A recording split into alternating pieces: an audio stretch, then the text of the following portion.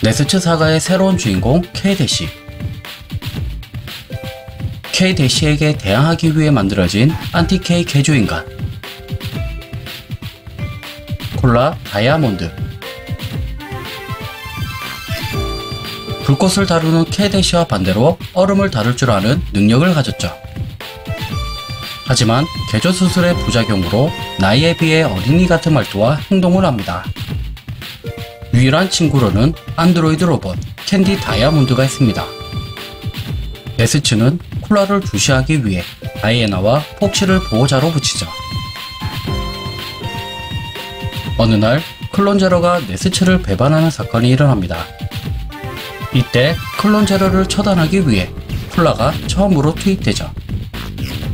그리고 K-대시와 처음으로 대면하게 됩니다.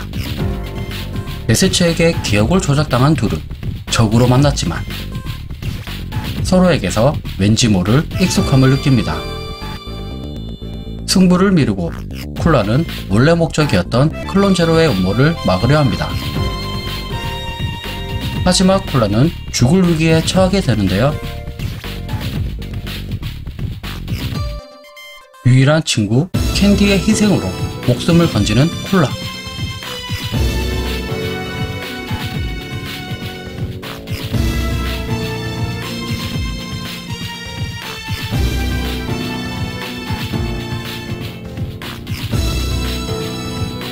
순수했던 콜라는 캔디를 고치기 위해 최선을 다하죠.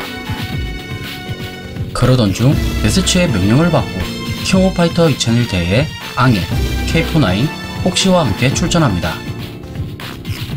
하지만 K-대시 팀에게 패배하고 대회가 끝나자 K49과 앙헬에게 배신당해 보호자였던 폭시가 공격당하게 됩니다. 이때부터 콜라는 앙헬을 엄청나게 증오합니다.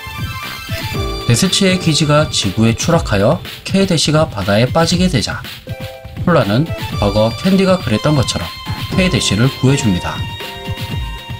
그리고 네스츠에 의해 조작되었던 기억이 돌아와 K-대시와 소꿉친구였다는 사실을 알게 되죠. 이때부턴 네스츠와 연을 끊고 K-대시와 일행이 됩니다.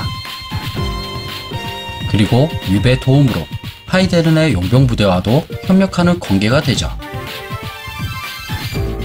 외전 게임인 맥시멈 임팩트에선 이 설정이 없으며 용병 부대와 적대 관계입니다. 쿨라는 두 가지의 머리색이 있는데요. 우리가 알고 있는 푸른 색깔 머리는 얼음 조정 능력을 개방하면 나타나고 평소에는 오렌지 색깔의 머리를 하고 있습니다. 간혹 SNK 제작진들도 이 설정을 깜빡했는지 때 아닌 보증오류를 범하기도 하죠. 여담으로 네임리스가 사랑하는 여인 이졸데는 쿨라의 클론인데요. 킹 오브 파이터 2002에서 네임리스가 쿨라를 보면 깜짝 놀라는 것을 볼 수 있습니다.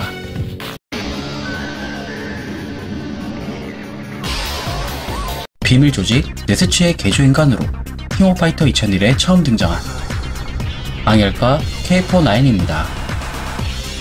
먼저 앙헬의 이야기부터 시작하겠습니다.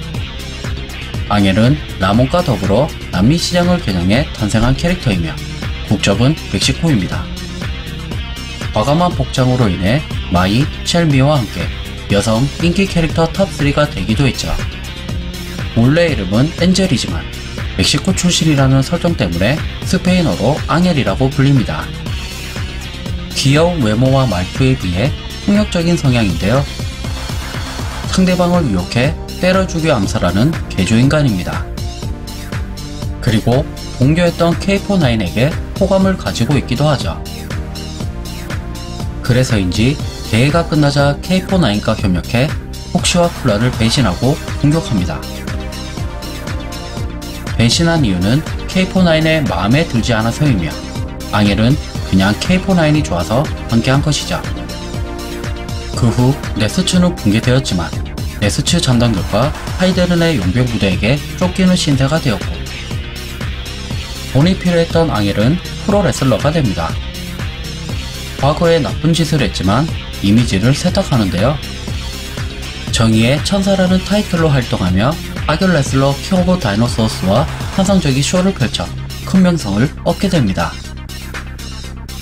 그리고 에이전트 라몬에게 킹 오브 파이터 14 참가 제의를 받아 멕시코 팀으로 출전합니다. 이번엔 K49의 이야기로 가보겠습니다. 쿠사나기 쿄의 9999번째로 만들어진 클론입니다. 하지만 다른 클론 쿄들과 달리 전혀 쿄를 닮지 않았는데요. 이유는 오리지널 쿄가 네스츠 기지를 탈출하여 대체 유전을 가진 쿄를 연이어 복제하다 보니 변형이 온 것이죠. 원래는 실패작이며 다른 클론 쿄들처럼 처분당할 입장이었으나 실험 도중 일어난 육체 변이의 가능성을 인정받아 목숨을 부지합니다. 그리고 네스츠에 의해 기억이 지워지지만 간부들을 적대하고 있었으며 언제든지 기회만 된다면 탈주할 준비를 하고 있었죠. 불꽃을 안정적으로 다루는 K-에게 열등감을 가지고 있으며 같은 편으로 참가했던 쿨라, 폭치를 싫어했습니다. 앙헬과는 이상하게도 궁합이 잘 맞았는지 공식 커플 분위기도 했었지만 갑자기 K49의 존재가 사라지게 되죠. 이유는 표절 논란 때문이었는데요. 아키라에 나오는 테추오를 패러디한 캐릭터이지만 성우도 같고 외형, 기술도 모자라 대사까지 따라했죠. 적당한 오마주도 아닌 대놓고 도용했다며 아키라의 작가 오토모 카츠히로가 분노합니다. 이를 의식한 SNK가 K49의 숙청 작업에 들어갔죠. 킹 오브 파이터 기념 홈페이지에 유일하게 일러스트가 없으며 킹 오브 파이터 2002에선 신규 캐릭터 네임리스로 바뀝니다. 킹 오브 파이터 2001에서 동료를 배신한 것도 앙헬이 독단적으로 했다는 설정으로 바뀌었죠. 하지만 일회성 캐릭터임에도 불구하고 게니츠와 더불어 인기가 제법 많은 편인데요. 시간은 흘러 2022년 나오지 않을 것 같았던 K49는 신작 킹 오브 파이터 15의 크로닌이란 이름으로 부활합니다. 저작권 문제 때문인지 과거의 모습이 거의 사라졌는데요. 네임리스의 일부 기술이 추가되었으며 모션과 이펙트도 모두 바뀌었죠. 첫 트레일러 공개 당시엔 K49이 아닌 다른 캐릭터로 의심했으나 엔딩을 통해 동일 인물임이 확정되었습니다. 네스츠 조직이 무너진 후 폭주하는 육체를 기계로 교체했으며 전 파트너였던 앙헬과 함께 쿨라를 유괴해 팀을 꾸려 킹 오브 파이터에 참전했다는 스토리죠. 과거엔 그냥 악당이었지만 현재는 성격이 많이 순화되어 지금까지 모은 도피 자금을 쿨라에게 주기도 합니다. 앙헬은 더욱 어른스럽게 변한 K49에게 호감을 느끼며 K49만 따라다니기로 결심하죠.